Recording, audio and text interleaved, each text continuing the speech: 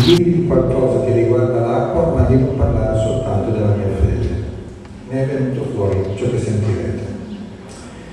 Per una parte consistente dell'umanità eh, non è e non fu mai solo una bella metafora, l'invocazione del Salmo 62 63 secondo la numerazione che comincia sintomaticamente così Dio mio, Dio mio, amato Signore, solo te fin dall'alba desidero, il mio essere ha sede di te, a te aneva l'anima mia come arida terra rialza.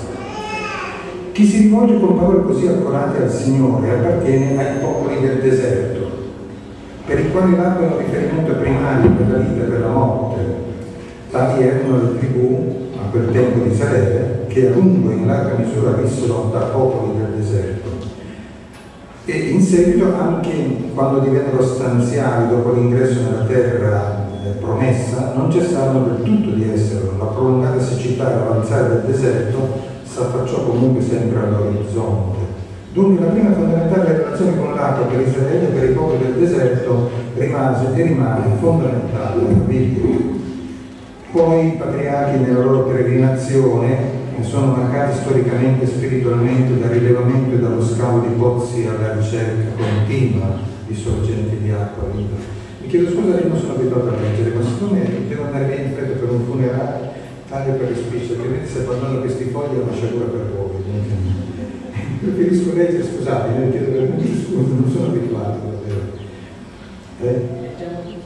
Ah, sì, sì, non sono abituato io oh. E questi patriarchi si rapportano ai pozzi come se fossero dei figli che non possono restare senza nome perché in essi si produce la propria vita, come leggiamo in Genesi, dove si dice Isacco si mosse di là e scavò un altro pozzo per il quale non litigarono. Allora egli lo chiamò Avò, cioè vuol dire vivere spazio e disse, ora il Signore ci ha dato spazio libero perché noi prosperiamo nel paese. E quando poi nel cammino del popolo ebraico afferrerà l'attesa più impegnativa e imprevedibile della sua storia, quella del compimento di un regno che si viene a definire come messianico, si correrà proprio all'immagine delle sorgenti inesauribili per esprimere in profezia che quell'evento sarà la realizzazione piena di ogni speranza. E dice infatti eh, eh, profeta in quel giorno acque vive scorreranno da Gerusalemme, scenderanno parte verso il mare orientale, parte verso il mar Mediterraneo, sempre estate e inverno. E così insomma altri testi, e dirà appunto anche, ma passami questo modo, della Sura 54, versetto 54, anche i timoranti di Dio dimoreranno in giardini in mezzo a fiumi, il Signore darà loro a bere di una bevanda purissima. Si sente che sono queste tradizioni monoteistiche legate all'origine biblica di, diciamo, di una fede che viene da una terra legata al deserto. Ma eh, qui comincia un discorso che è più complesso. E qui entra veramente nella risposta che ho cercato di dare a questo ragazzo che mi diceva vai un po' a toccare le zone di confine. Qui entriamo. Fin dall'origine della tradizione biblica eh, il cosmo non è assolutamente identificabile con Dio come invece avviene in molte altre tradizioni religiose e chi mi chiedeva questo era uno di queste tradizioni, come vedremo in seguito. Le acque primordiali che tanta parte hanno in svariate mitologie delle origini eh, sono semplicemente il nulla prima dell'intervento creativo di Dio, secondo la Bibbia. Egli non si confonde mai con esso la prima pagina del libro della Genesi sancisce in modo definitivo che ogni elemento della natura è pura creatura e l'acqua è vista come massa informe e inerte su cui alita ben distinto lo spirito che lo plasma, che plasma quest'acqua e le conferisce ambiti e norme proprie sotto il firmamento e entro il pianeta Terra. Lo spirito di Dio alleggiava sulla superficie delle acque, ci sia una distesa tra le acque che separa le acque da acque e Dio fece la distesa e separò le acque che erano sotto la distesa delle acque che erano sopra la distesa. Poi disse le acque che sono sotto il cielo siano raccolte in un unico luogo e appare l'asciutto. E così fu. E Dio chiamò l'asciutto terra e chiamò la raccolta delle acque mare e Dio vide che questo era buono. Così, liberate dal potere di identificazioni misteriose, e divine, l'acqua al pari di tutta la natura, nella tradizione religiosa ebraica, cristiana credo anche, penso, islamica, conserva tuttavia una sua intensa primordialità creaturale vitale che le consente di diventare un veicolo concreto e simbolico nello stesso tempo di alcuni fondamentali eventi di fede. E ciò che vediamo nel dialogo di Gesù con la Samaritana, ad esempio, è un dialogo che significativamente avviene presso il pozzo di Giacobbe, con punto forte di riferimento. Se tu conoscessi il dono di Dio e chi è colui che ti dice dammi da bere, tu stessa mi avresti chiesto ed egli ti avrebbe dato acqua viva. Chi beve dell'acqua che io ti darò non avrà mai più sete, anzi l'acqua che io gli darò diventerà in lui sorgente di acqua che zampilla per la vita eterna. Ed è ancora l'acqua che Gesù sceglie per il battesimo, come fu accennato, in doppio senso, di ritorno alla purezza della tradizione ebraica, continuando e perfezionando la predicazione identificata nella figura di Giovanni Battista e di apertura alla fede nella sua persona come compimento di promesse che in quella figura erano anticipate. L'acqua si carica così di valenze simboliche e mistiche che saranno continuamente arricchite dalla riflessione lungo i secoli e raccolte soprattutto nella liturgia battesimale, come si vede ad esempio nella lunga, articolata preghiera di benedizione dell'acqua del rito latino e ancora più diffusamente nel rito della Chiesa orientale. Questo davvero è un momento molto interessante, che oggi suona straniante, ma dovrebbe essere motivo di riconcentrazione. Ma venendo eh, ad altri passaggi, eh, vado in un'altra sfera culturale come mi chiedevo quella persona.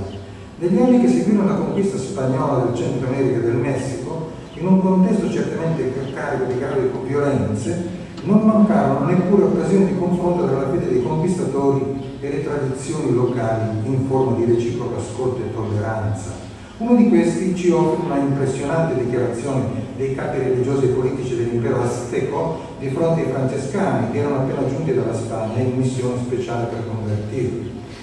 I francescani erano 12, un numero carico di significato religioso, con riferimento evidentemente ai 12 apostoli di Gesù e ai primi 12 discepoli di San Francesco, per sottolineare l'importanza dello scopo che si proponevano, una nuova epocale evangelizzazione che avrebbe rinnovato l'intera cristianità.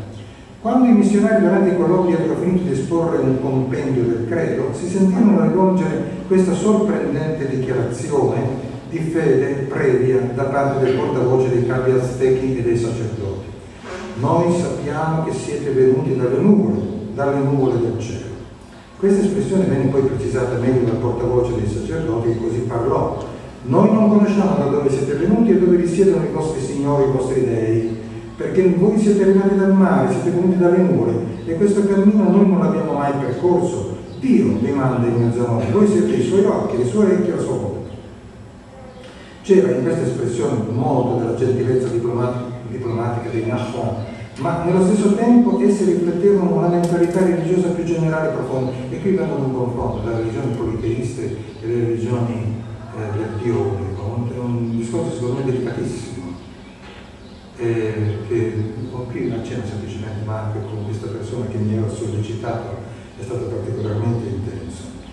Dunque, ehm, c'era in questa espressione il modo della gentilezza diplomatica dei Nahon, ma nello stesso tempo esse riflettevano una mentalità religiosa più generale e profonda, la duttilità del sistema politeista azteco di recepire indefinitamente qualunque nuovo apporto di credenze, come dire, i vostri dei missionari sono i benvenuti, in effetti il politeismo è una visione funzionalista della religione. Il dio delle ape, Kunalo, che aveva il compito di far piovere e far prosperare le coltivazioni e le foreste, ha una sua funzione da svolgere nel mantenere l'ordine delle cose nel mondo. Devono mantenere l'ordine cosmico, ciascuno con la sua competenza. Paolo, sovrano di numerose divinità subalterne, avrebbe dovuto dunque entrare a patti con i nuovi venuti dalle nubi e dal mare. Ma i francescani non annunciavano nuovi dei della pioggia e delle acque, bensì un unico Dio creatore di tutto il cosmo. E altri dei non esistevano, anzi avevano in sé qualcosa di demoniaco, di ingannevole, di perverso. Quest'ultimo aspetto poteva essere accolto in quanto gli dei del politeismo azteco analogamente altri politeismi avevano una doppia faccia, non erano né totalmente portatori di bene né totalmente portatori di male. Il bene e il male non sono mai assoluti, il Dio che zappo sotto forma di serpente dalle verdi piume, era una divinità acquatica e benefica, ma nello stesso tempo poteva scatenare tempeste e cicloni, sentire però i francescani affermare che tutti gli dei erano falsi, costernò i capi e i sacerdoti. Dissero, questo modo di parlare ci è del tutto nuovo e ci sembra molto scandaloso. Siamo spaventati a dire cose del genere, dissero i missionari. Si può capire quanto grave sia stata la crisi di fede che accompagnò il passaggio dalla visione politeista della natura alla visione biblica. Lo sappiamo da infinite testimonianze che oggi sono riprese con grande attenzione in vista di una ricalibratura del rapporto tra cristianesimo e religione non cristiana. Dice un personaggio del grande romanzo eh, di Cino Acidi, che è un, un nigeriano molto importante che vi consiglio veramente di conoscere, la, il, questo romanzo è parte di una trilogia di cui la citazione prende il terzo volume e l'ultimo, cioè La freccia di Dio, di Aaron Lodge, no? dice come la luce del giorno scaccia il buio, così l'uomo bianco disperderà tutte le nostre usanze, l'uomo bianco ha un potere che viene dal vero Dio e brucia come fuoco. Qui siamo in un momento cruciale della colonizzazione tra l'Ipo e Fo della Nigeria. L'autore sta descrivendo in modo magistrale la crisi di coscienza di Ezzeuru, sacerdote garante di Uru, divinità degli Umuaro, che non risponde più alle attese. E allora un Dio trovandosi senza potere poteva prendere la fuga, ma Ezzeuru semplicemente ne resta annichilito e impazzisce, come avviene nel romanzo.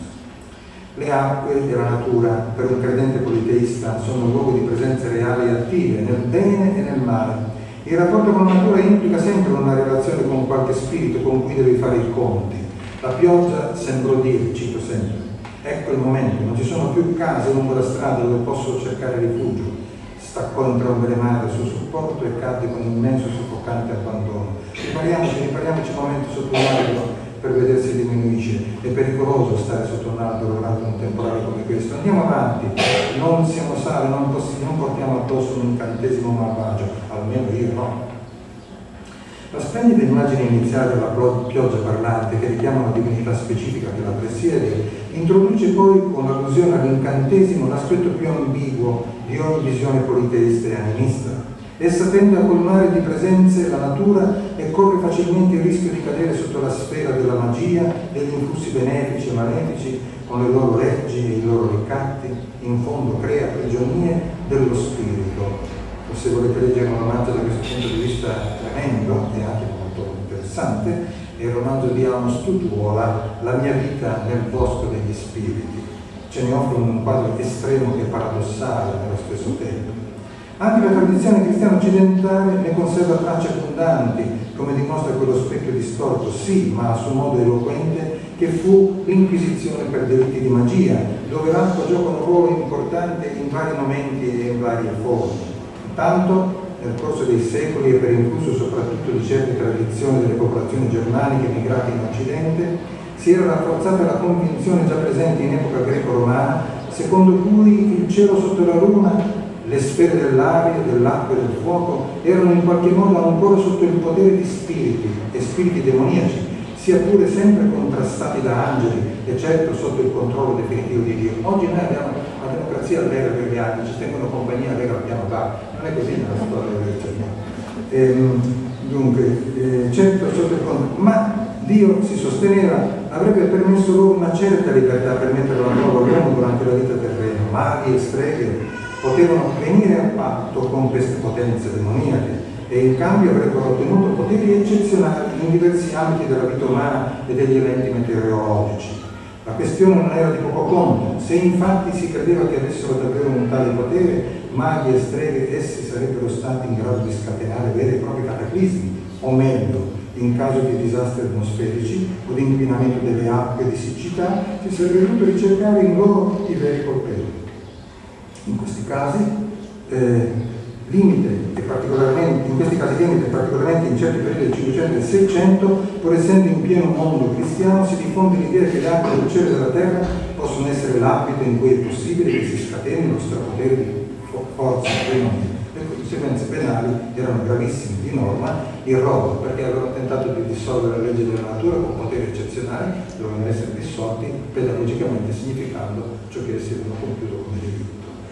Non si tratta solo di situazioni estreme di altre epoche, si deve dire in generale, ecco ti tiro la conclusione che ho detto questo mio amico di ripensamento, eh, si deve dire in generale che la visione politeista e animista della natura rimane una provocazione costante per tutte le religioni monoteistiche a volte questa provocazione è resa più acuta dalla particolare situazione in cui vive la società secolare e il cristianesimo che si trova in queste parti del mondo. Qui infatti la realtà pare aver perso quasi del tutto la visione creaturale della natura e quindi anche dell'acqua, la visione creaturale nel senso cristiano e biblico. Ne consegue che ci si rapporta ad esse come a puri beni materiali, a beni di illimitato uso e consumo. Di qui alcune polemiche recenti proprio sul rapporto con l'acqua nelle diverse civiltà e religioni.